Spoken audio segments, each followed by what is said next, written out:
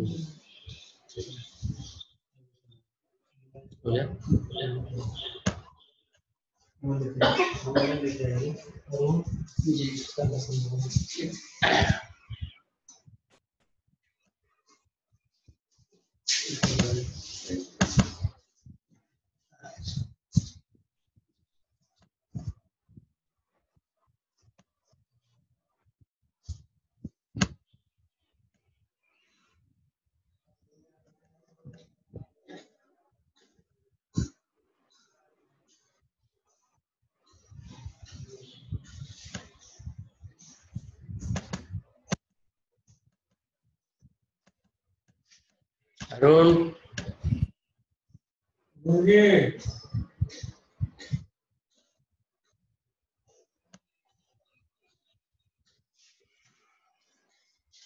एक मिनट के लिए बुला दो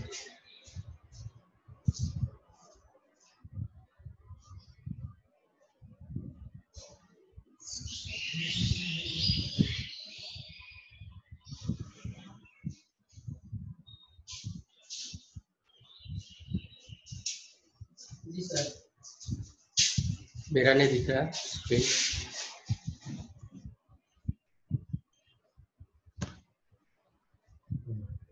अभी स्क्रीन शेयर कहाँ गया? ये शेयर है ना? ये ना।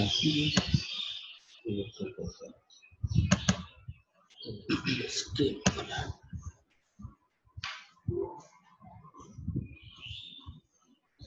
बना I want to keep your ink discard here. ये ऐसा वाला भी दिखाना चाहिए ये वो क्या चीज़ और चेक करते हैं। सभी लोग को हम वो करना चाह रहे हैं। बोल दे। नहीं। अच्छा बोलना है। सबको। यहाँ से पार्टिसिपेंट्स यहाँ ओपन कीजिए। यहाँ से अभी बोल सकते हैं आप सबको सुनाई हाँ। देगा। बाकी यहाँ से म्यूट म्यूट कर दीजिएगा सब। म्यूट कर देंगे तो सब लोग चुप हो सब चुप हो जाएगा। और अभी अभी सब आप अभी सब सुन रहा होगा आपकी बात तो आप बोल सकते हैं वो भी बोल सकता है मतलब। Very good afternoon all of you और गुड आफ्टरनून सर हाँ ठीक है। अभी बात नहीं करेंगे। अभी जो हम बोलेंगे वो आप सुनेंगे। और एक समय आएगा जब हम लोग इंडिविजुअली बात भी करेंगे। आज के इस लेक्चर के चर्चा में। और ये चाहते हैं आप लोगों से कि सभी लोग आज अपना ऑन रखें, ठीक है? और उसके बाद जब जिसको बोला जाएगा बोलने के लिए, वही बोलेंगे। ठीक है? और आप लोग थर्ड ईयर के स्टूडेंट हैं। आज का लेक्चर जो है मैं बिल्कुल कोशिश करूँगा कि आप लोगों को सभी बातें समझ में आ जाए क्योंकि आज मैंने जो टॉपिक लिया है वो बहुत सिंपल टॉपिक है और बहुत ही इम्पोर्टेंट टॉपिक है।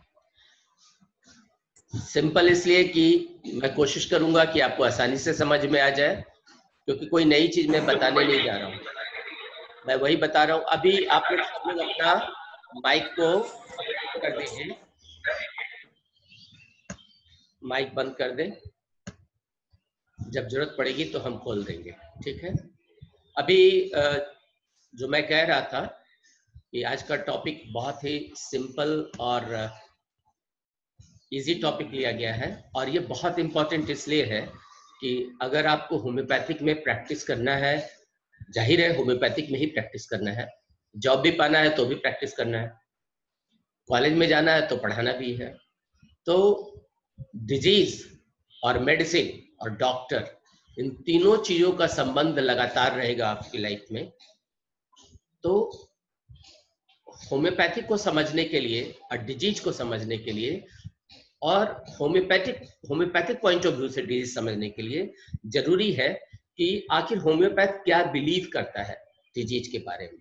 इसीलिए मैंने ये टॉपिक रखा है understanding disease and understanding disease in specially in homeopathy और ये लेक्चर का पार्ट वन रहेगा, जिसमें हम पहले वो सारी बातें छोटी छोटी बातें आपको बताने की कोशिश करेंगे, जो कि आप ऑलरेडी जानते हैं ऑलरेडी समझते हैं, और आप लोग पहले से भी बहुत समझदार हैं, ये तो मुझे मालूम है, क्योंकि तो आपका बैच तो बहुत अच्छा है। ठीक है? तो हम शुरू करते हैं अंडरस्टैंडिंग डिज़ीज़ इन होम्योपैथी। तो होम्योपैथिक में जो क्लासिफिकेशन किया गया है डिज़ीज़ का, होम्योपैथिक पॉइंट ऑफ़ व्यू से, वो तीन भाग में बांटा गया है। एक डिज़ीज़ सर्जिकल डिज़ीज़ है, एक डिज़ीज़ इनडिस्पोजिशन है, और एक डिज़ीज़ डायनेमिक डिज़ीज़ है। तो जो सर्जिकल डिज़ीज़ है, वो हमारे डोमेन में नहीं आता। हमारे डोमेन में नहीं आता का मतलब होम्योपैथी से उसको कुछ लेना देना नहीं है, क्योंकि वो होम्योपैथिक क्षेत्र से बाहर है।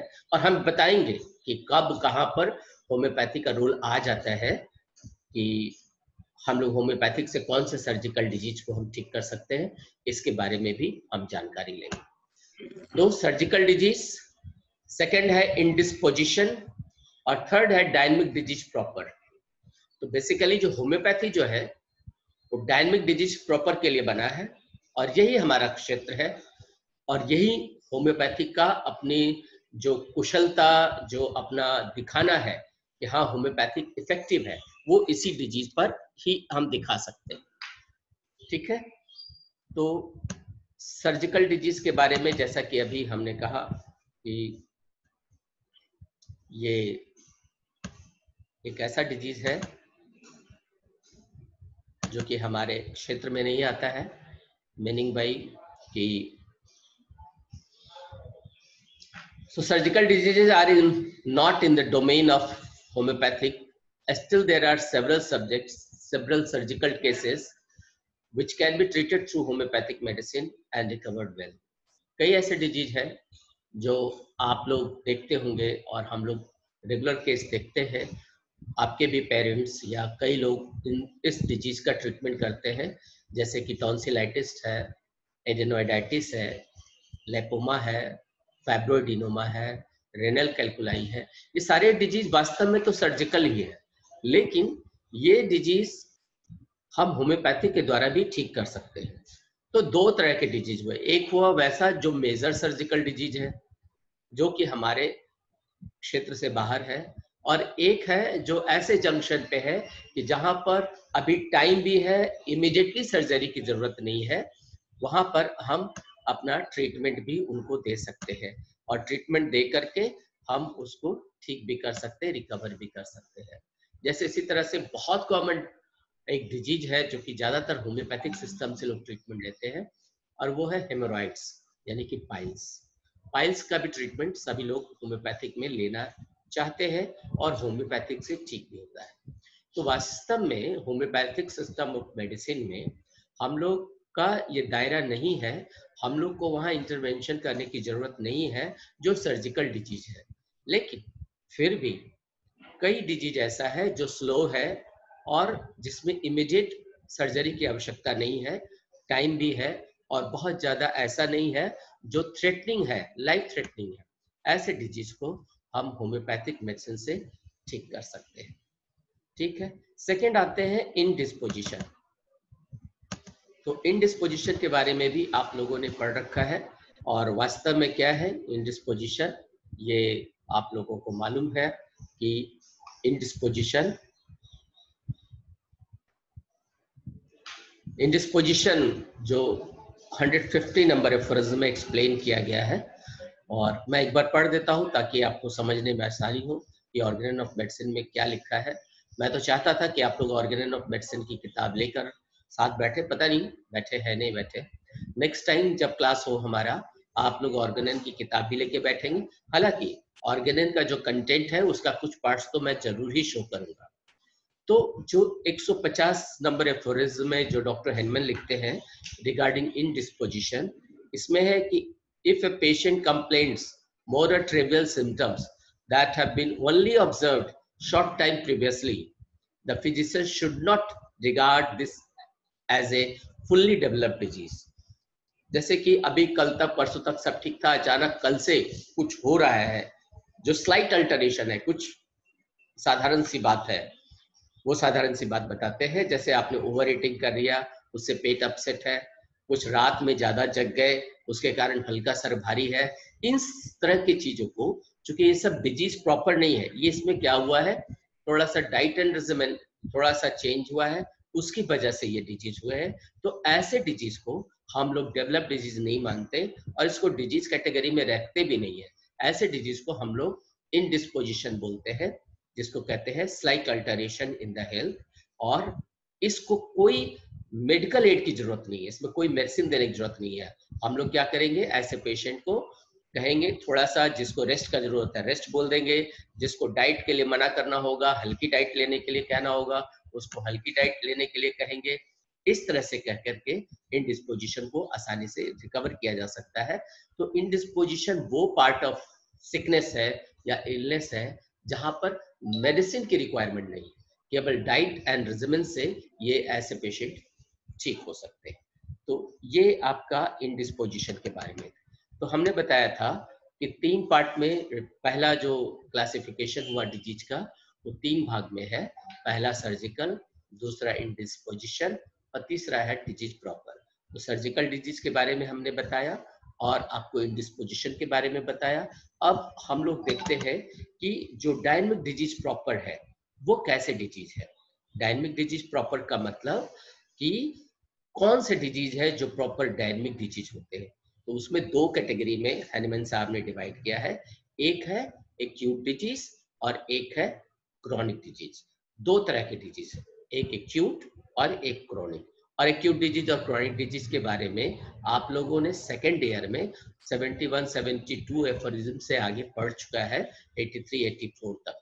फिर भी एक स्लाइड हम लोग फटाफट एक्यूट डिज़ीज़ के बारे में हल्का से देखने की कोशिश करेंगे कि ये एक्यूट डिज़ीज़ क्या होते हैं।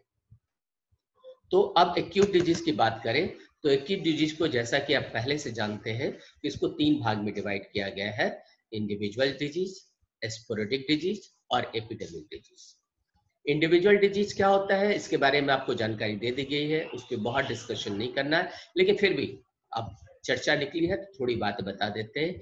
इंडिविजुअल डिज़ीज़ वो डिज़ीज़ अच्छा एक और खास बात बताना यहाँ पर बहुत ज़रूरी है कि एक्यूट डिज़ीज़ जितना होता है, सभी लेटेंट सोरा के एक्सप्लोशन से होता है। और ये सुनर और लेटर अपने आप रिकवर भी कर जाते हैं। कहा, कहीं कहीं पे मेडिसिन की आवश्यकता होती है। तो इंडिविजुअल डिज़ीज़ वो डिज़ीज़ है जिसमें पेशेंट इंडिविजुअली सफ़र करता है, आप लोग ऐसा बोलते हैं। तो हर में तो पेशेंट इंडिविजुअली सफ़र करता है। कंडीशन इसका ये है कि एक ही सर सरकमस्टांस में अगर दस लोग हैं और दसों को दस तरह का प्रॉब्लम हुआ। एक ही एक्साइटिंग फैक्टर एक ही चीज़ के एक्साइटिंग फैक्टर से दसों पे इफ़ेक्ट सेम लेवल पे पड़ा but the resultant effect is different कहने का मतलब जो उसका आउटकम हुआ, वो डिफरेंट है। तो ये कैसे हम समझ सकते हैं? जैसे कि मान लीजिए कि दस बच्चों को हमने धूप में बोल दिया कुछ काम करने के लिए और वो लोग काम कर रहे हैं, लगातार मान लीजिए दो घंटे तक सबों ने काम किया। अब सबों को शाम होते होते कुछ प्रॉब्लम हो जाएगी। मान लीजिए किसी को हेडेक हो गया, किसी को फीवर हो गया, किसी को लूज मोशन हो गया। तो सभी ये जो है ज़रूरी नहीं कि दो घंटा में सब इफेक्टेड भी हो जाए, लेकिन ये जो तीन चार एग्ज़ाम्पल दिए, ऐसे से अगर इफेक्टेड है और सबको एक समान नहीं हुआ, जबकि जो ओवर हीटिंग जो था, ये जो एक्साइटिंग फैक्टर था, जो कि फ़िज़िकल इंप्रेशन और मेंटल इंप्रेशन के एक्साइटिंग फैक्टर से ये एक्यूट डिज़ीज़ का इंडिविजुअल डिज़ीज़ होता है। इसमें अलग अलग लोग अपने तरीके से, यानी कि इनका अपना कॉर्पोरियल कॉन्स्टिट्यूशन इसकी अपनी टेंडेंसी क्या है, अपनी ससेप्टिबिलिटी क्या है अकॉर्डिंगली ये लोग रिएक्ट करते हैं और वो शो करते हैं इंडिविजुअल डिज़ीज़ ऐसा इंडिविजुअल डिज़ीज़ वास्तव में ये क्षणिक होता है और एक्सप्लोशन होता है लेटेंट सोरा का, और ये थोड़ी देर के अंदर ये खत्म भी हो जाता है अपने आप। ऐसे डिज़ीज़ को हम लोग इंडिविजुअल डिज़ीज़ कहते हैं। जबकि स्पोरेडिक डिज़ीज़ वो डिज़ीज़ है जहाँ पर कि इनका जो एक्साइटिंग काउज है, वो टेलोरिक हो सकते हैं मेटेरिक हो सकते हैं। टेलोरिक का मतलब है कि कॉन्टामिनेटेड सॉइल कंटामिनेटेड वाटर ये सब चीज़ों से ये होते हैं। और इसमें भी ऐसा नहीं है, इसका खास है कि समय एक रहेगा। मान लो कि ये महीना मई है तो मई ही रहेगा। लेकिन मई में कुछ पर्सन मुंबई में कुछ, बेंगलोर में कुछ, कलकत्ता में कुछ, बिहार या पटना में सफ़र करते हैं। लेकिन जो कलकत्ता का पेशेंट है, वो अलग डिज़ीज़ से सफ़र कर रहा है।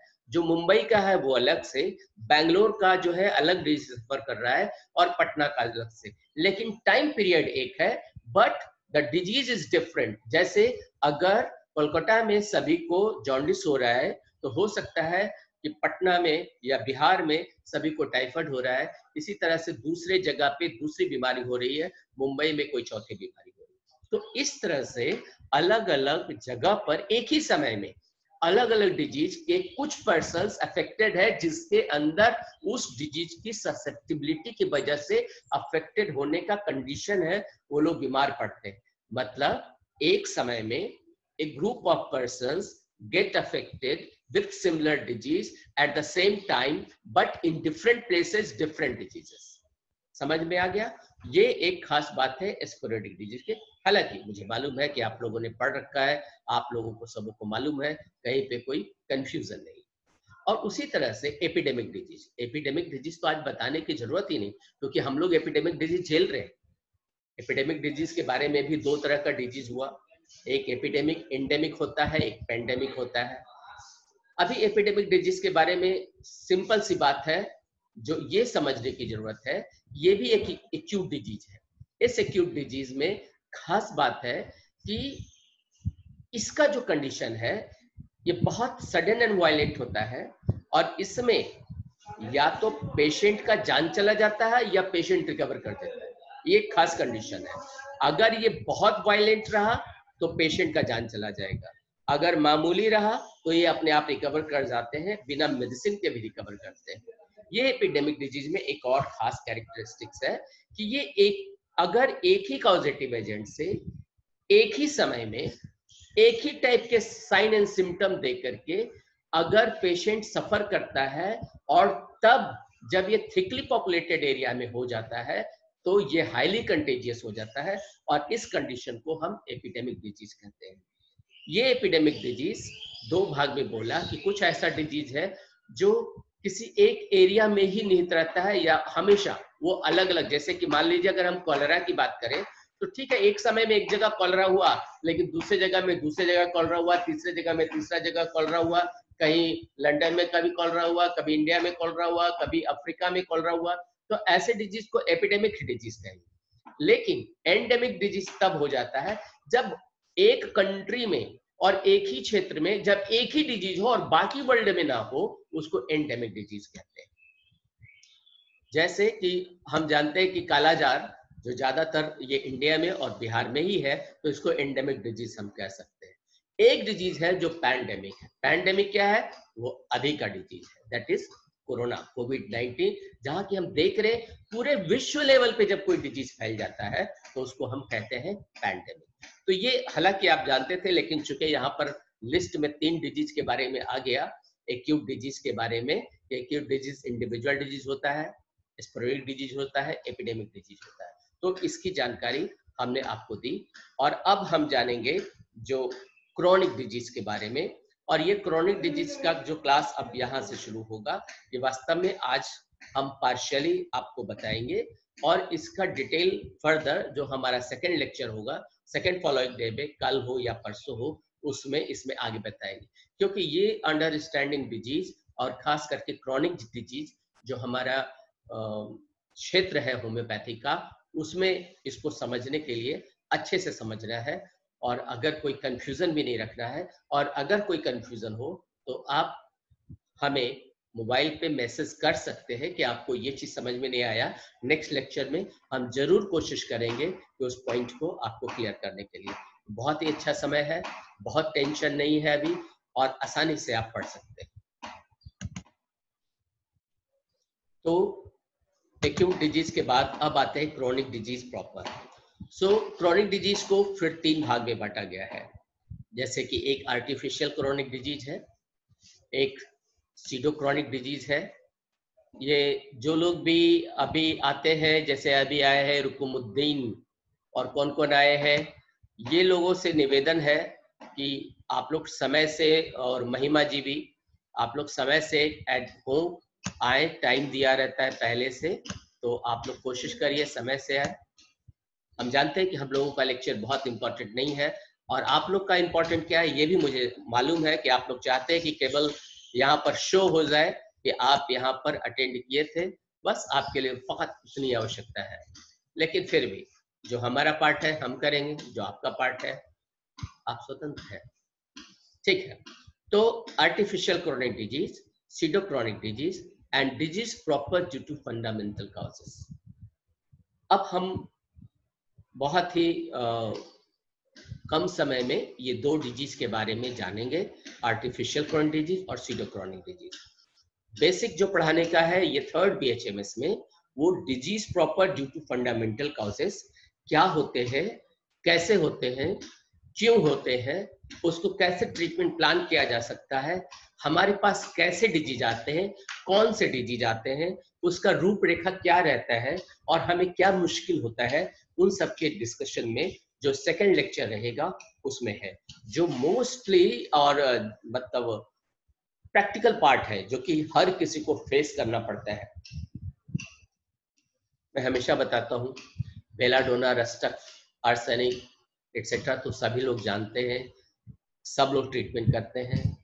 लेकिन ऑर्गेनिक ऑफ़ मेडिसिन एक ऐसी शिक्षा है या ऐसा एक स्केल है।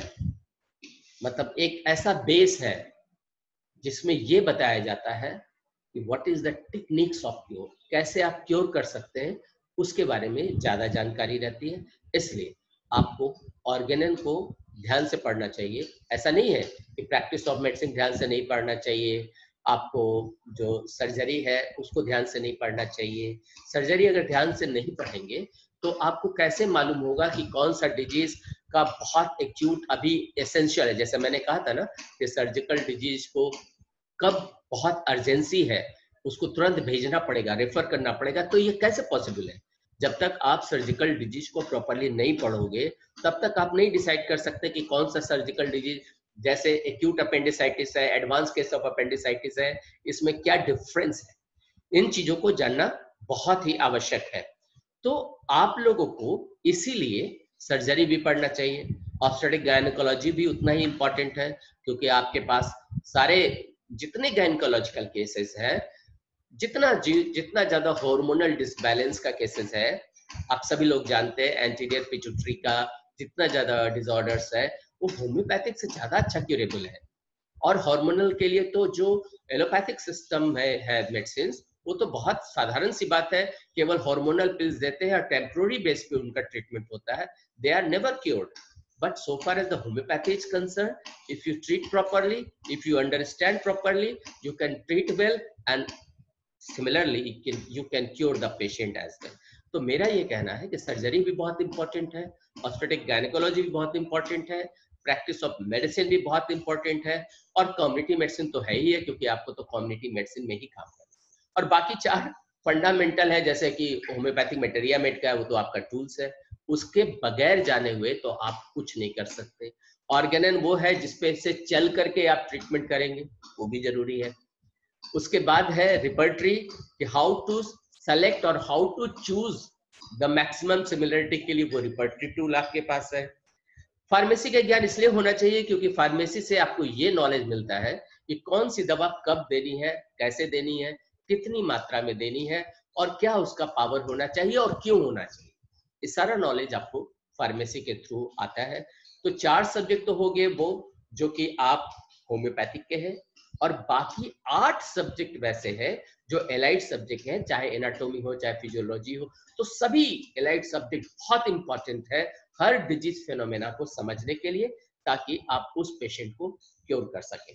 ठीक है पल्लवी? समझ में आ रहा है ना? पल्लवी समझ में आ रहा है? ठीक है। यस सर यस सर आँख बंद करके सुनोगे तो ज़्यादा नहीं समझ में आएगा। ठीक है? हम्म। नो प्रॉब्लम हम बोले हैं सबसे बात करेंगे वीडियो पे अभी। सो so, क्या हुआ। तो हम आते हैं। सर भूख लग गया था। अच्छा कोई बात नहीं आप आवाज़ नहीं, नहीं करें काइंडली अपना म्यूट रखें mic artificial chronic disease artificial chronic disease एक डिज़ीज़ वो है जो कि कहा जाता है कि ये ट्रू म्याजमेटिक डिजॉर्डर नहीं है, लेकिन इसमें म्याज्म का पार्ट रहता है। माइंडेड क्योंकि लोग ये पढ़ाते हैं आपको कि ये म्याजमेटिक डिज़ीज़ नहीं है, क्योंकि एक बॉडी जो किसी डिज़ीज़ से सफ़र कर रहा होता है तो उसमें तो म्याज्म है। अकॉर्डिंगली जब उसके लिए एलोपैथिक या इसमें हमने लिखा है कि वैसा मेडिसिन जो कि लार्ज अमाउंट में हीरोइक मेडिसिनल सब्सटेंसेस लिया जाता है, उसके साइड इफेक्ट्स के कारण जो डिजीजेज होते हैं, वो आर्टिफिशियल डिज़ीज़ होते हैं। तो इसका जो रिएक्शन भी है, वो ज़रूरी नहीं कि सब में एक समान हो। किसी किसी में थोड़ा डिफरेंट भी हो सकता है। ये अलग बात है कि एलोपैथिक में सभी में लिखा रहता है कि ये साइड इफ़ेक्ट है, चूँकि मटेरियल डोजेज है, उसका निश्चित ही वही होता है। इसीलिए म्याज में एक पार्ट में एक बॉडी इफेक्टेड है एक डिज़ीज़ अफेक्टेड है, उसके ट्रीटमेंट के लिए वो अदर मेडिसिन लेता है, उस अदर मेडिसिन को लार्ज अमाउंट में कंज्यूम करने से और लगातार लेने से जो कि हीरोइक मेडिसिनल सब्सटेंसेस है तो उसको क्या हो जाता है? उससे रिलेटेड एक डिज़ीज़ होता है जिसको हम आर्टिफिशियल डिज़ीज़ कहते हैं। और ऐसा आर्टिफिशियल डिज़ीज़ जो होता है, उसको बहुत मुश्किल होता है ठीक करना। अब ये आर्टिफिशियल डिज़ीज़ दो वजह से हो सकता है, या तो एक वायलेंट हीरोइक मेडिसिन सब्सटेंस लंबे समय तक लगातार इंक्रीजिंग डोज में लेने से हो सकता है।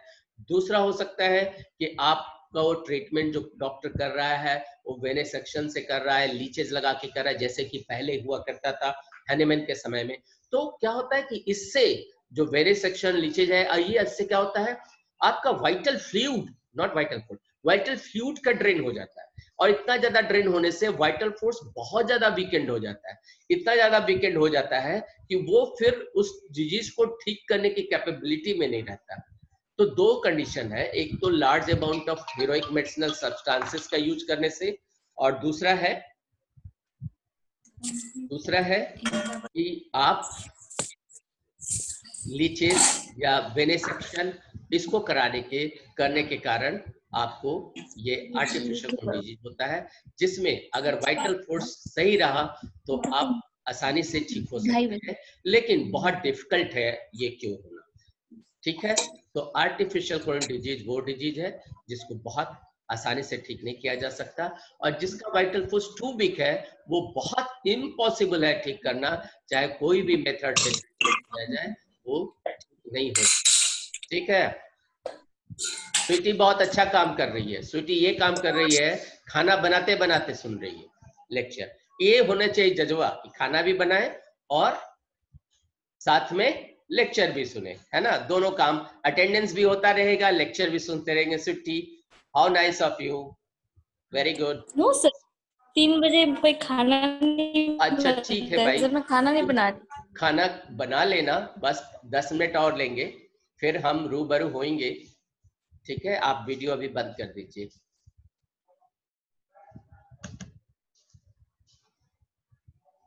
नेक्स्ट है pseudo chronic disease pseudo chronic disease वो डिज़ीज़ होते हैं जो इसमें म्याज्म का रोल बिल्कुल नहीं है। सबसे इंपॉर्टेंट पॉइंट कि pseudo chronic diseases are those diseases which are non miasmatic diseases इसमें म्याज्म कहीं है ही नहीं।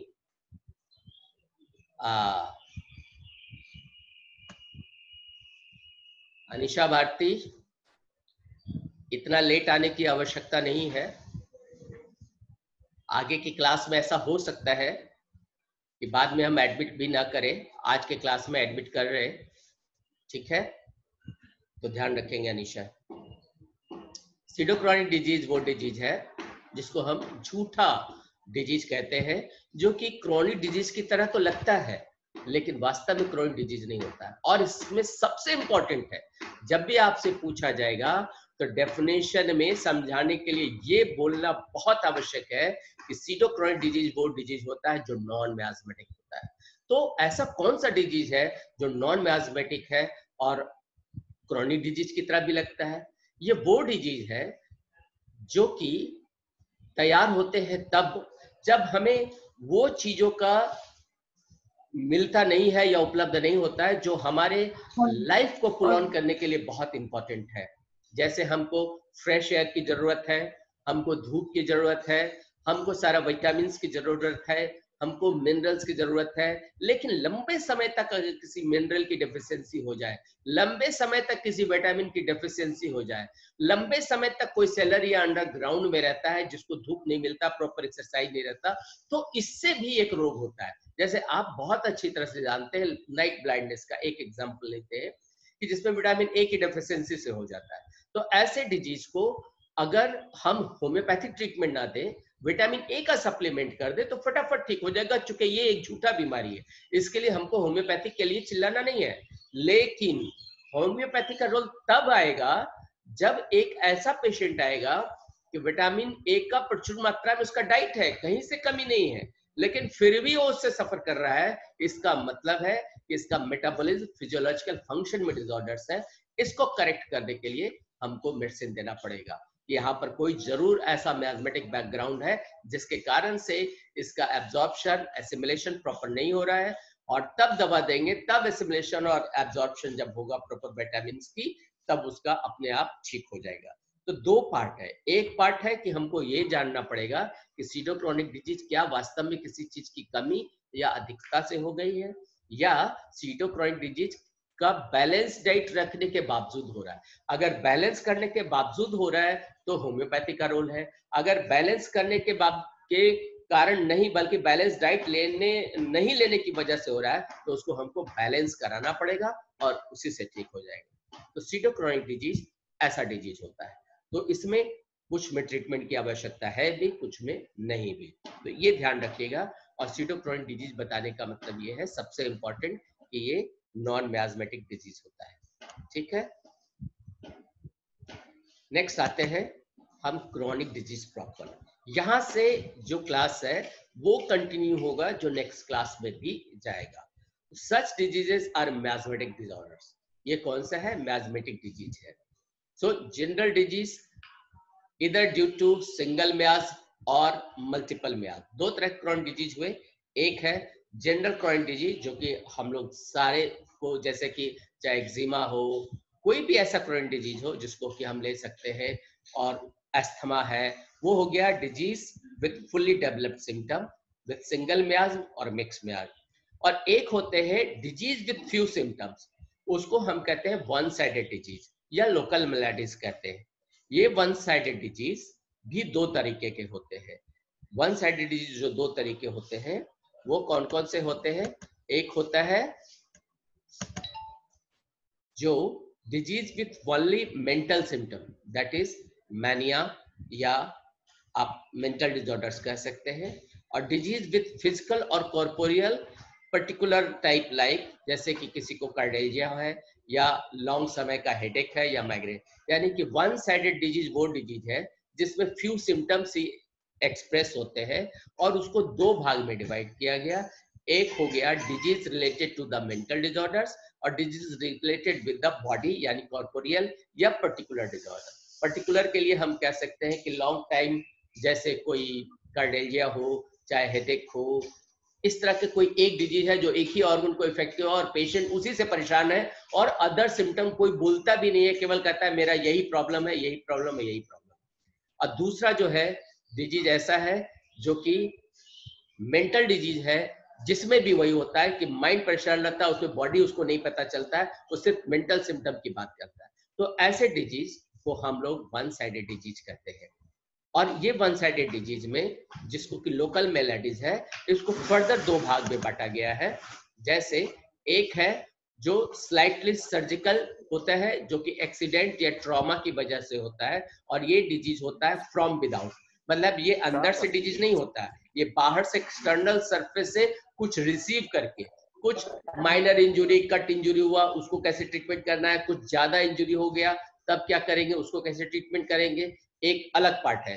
दूसरा पार्ट है कि जो नॉन सर्जिकल होता है वो डायनेमिक डिज़ीज़ होता है और फ्रॉम विद इन होता है अंदर से आता है जिसको कि हम लोकल मिलाइट जैसे किसी को एक वर्ड्स हो गया एक मोल हो गया ऐसा है। लेकिन ये वर्ड्स ये मोल वास्तव में ये केवल आउट सरफेस पे नहीं है, बल्कि इसका रूट अंदर तक है। ये जो अंदर तक की बात कही, ये एक स्पेशल कोर्स है स्पेशल कोर्स नहीं है स्पेशल फोकसिंग स्टडी है, जिसके जिसकी स्टडी हम अगले क्लास के बाद हम इसको करेंगे, और वहाँ से जानेंगे कि आखिर ये ट्रू क्रॉनिक डिज़ीज़ जो डायनेमिक डिसऑर्डर्स है, उसको हम कैसे ठीक कर सकते हैं? और वही आपका क्षेत्र है। यानी अभी तक जो इससे पहले सारी बातें हमने बताई वो सारा कुछ क्या था?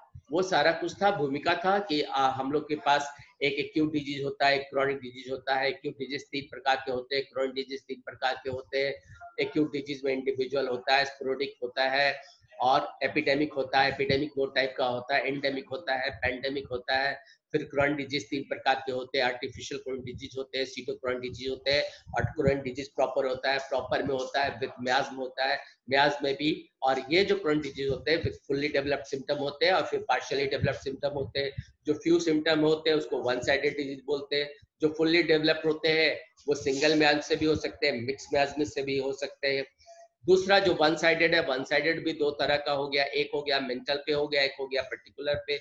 मेंटल का हो गया मेंटल डिसऑर्डर पर्टिकुलर का हो गया कोई एक पार्ट अफेक्टेड दूसरा हो गया कि एक और जो माइनर डिज़ीज़ लोकल मेलाडीज में है, जो एक एक्सीडेंट या इंजुरी की वजह से होता है और एक फ्रॉम विद इन होता है। तो ये सारी बातें अभी तक जो हमने बताई, आपको बेस तैयार किया।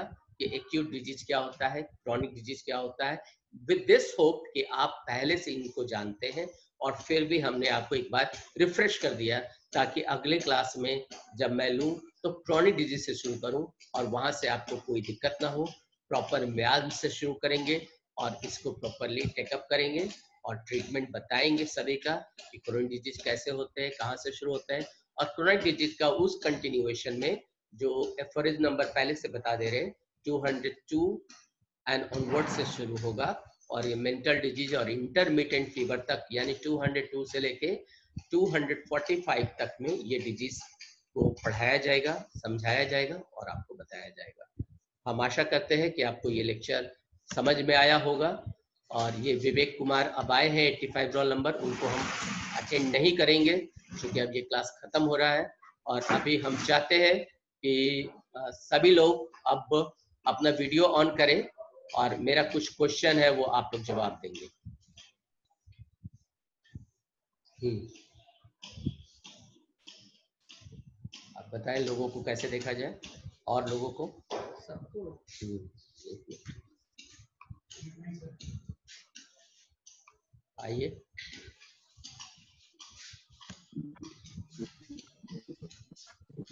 हम्म, पर्टिकुलरली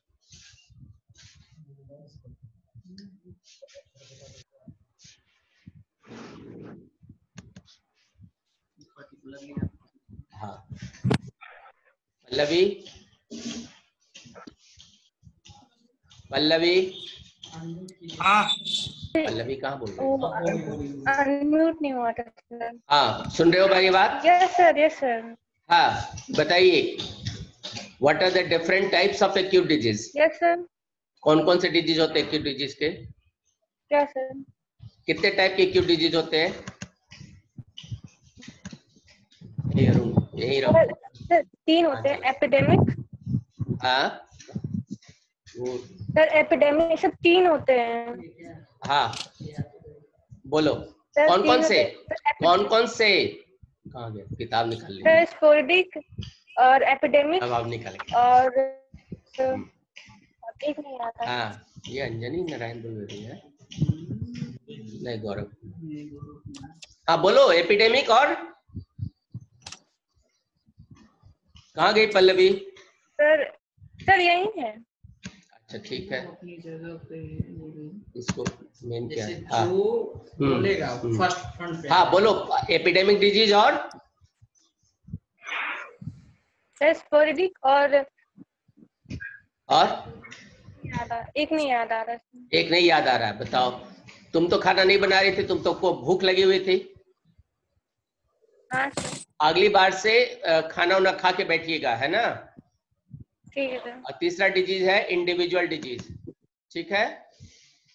हाँ, उसके दिमाग में था लेकिन भूल गया अच्छा। गौरव बताइए। गौरव कुमार बताइए। What are the different types of chronic disease?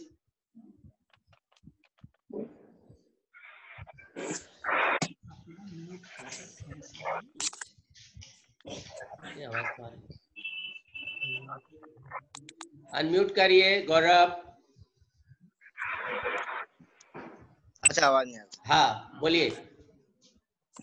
Ji sir chronic disease जो है कि तीन टाइप के होते हैं क्रोनिक डिज़ीज़ हाँ कौन कौन से? अब उसे सीडो क्रोनिक डिज़ीज़ होते हैं और आर्टिफिशियल क्रोनिक डिज़ीज़ होता है और हाँ। एक सीडो क्रोनिक और सुडो आर्टिफिशियल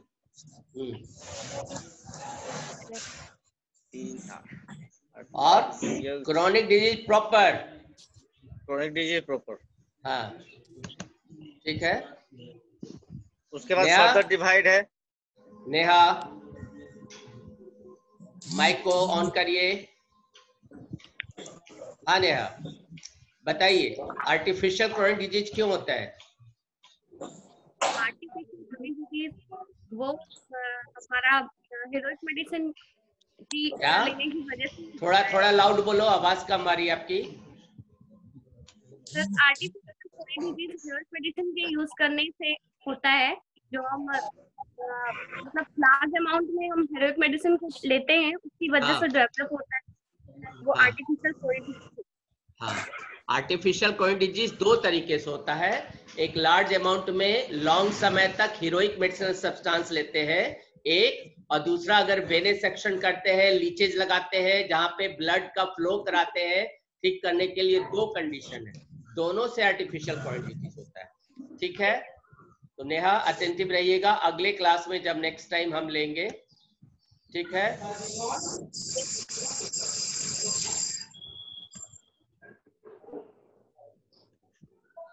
ये कौन हो रहा है डॉक्टर विवेक पांडे हाँ डॉक्टर विवेक पांडे जी। विवेक पांडे जी अरे सुन रहे मास्क लगाने की ज़रूरत नहीं थी अभी। अच्छा हॉस्पिटल में बैठे हैं डॉक्टर साहब। डॉक्टर साहब हॉस्पिटल में हैं? जी सर डॉक्टर साहब की आवाज़ नहीं आ रही है। जी सर हाँ।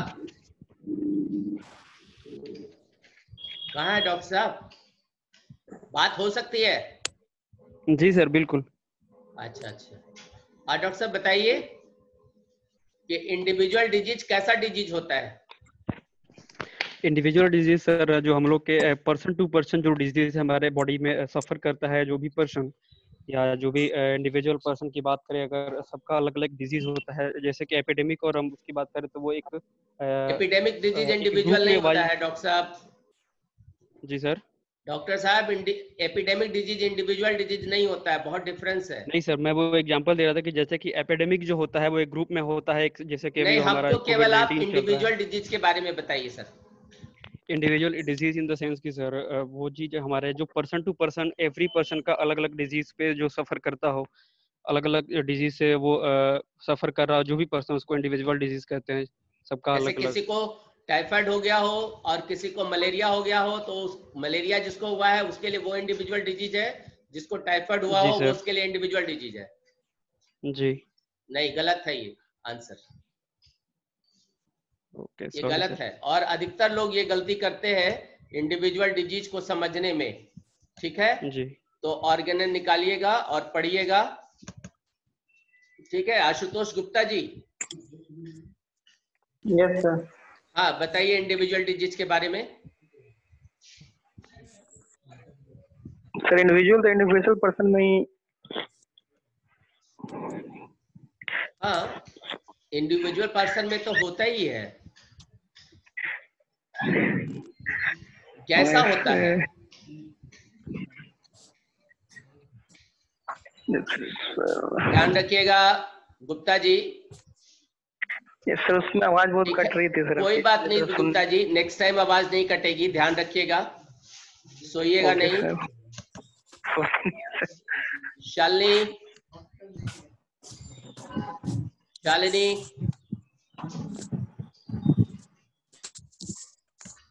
शालिनी को आवाज़ नहीं आ रही है?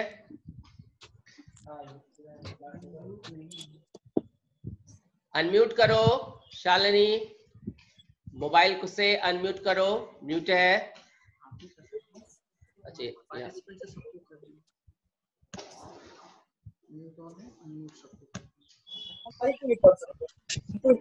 अभी जो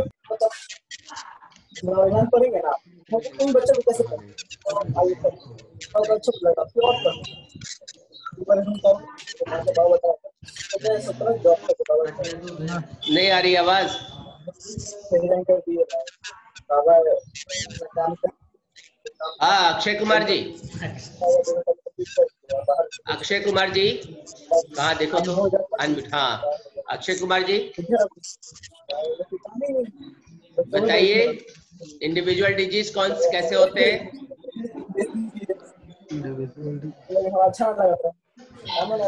अक्षय कुमार। शालिनी को बोला अच्छे कर ही नहीं रही है।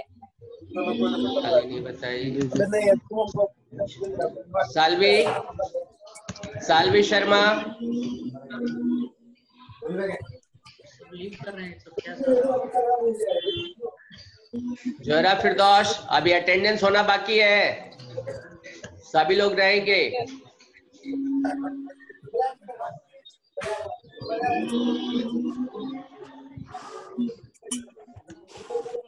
हैं। हाँ अजमल शेख जी।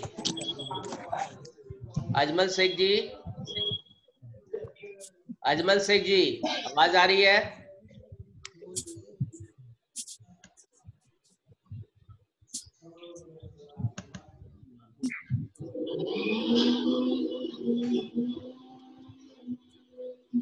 निधि।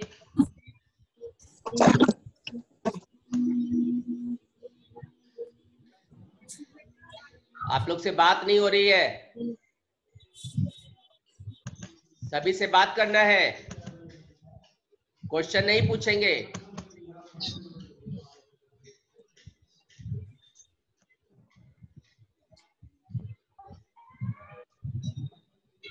सभी को आवाज़ आ रही है यस सभी को आवाज़ आ रही है यस सर हाँ ठीक है कोई बात नहीं आप क्वेश्चन नहीं पूछ रहे हैं यस सर आप सभी लोग ठीक हैं यस सर यस सर सब ठीक है यस सर यस सर ठीक है यस सर सब ठीक है बहुत अच्छे यस सर यस सर ठीक है वेरी गुड अच्छे से रहिए अच्छे से हेल्थ का ध्यान दीजिए और अच्छे से खाना खाइए।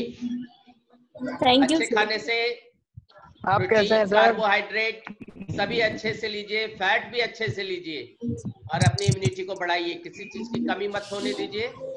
और नेक्स्ट क्लास में कल या परसों होगा नेक्स्ट क्लास फिर हम लोग मिलते हैं। ओके आप लोग आप छोड़ सकते हैं एंड कर सकते हैं। हम एंड कर रहे हैं। Okay sir thank you sir thank you मेरा कहा गया? एंड में टिक करने वाला? स्टॉप स्टॉप शेयर धन्यवाद एंड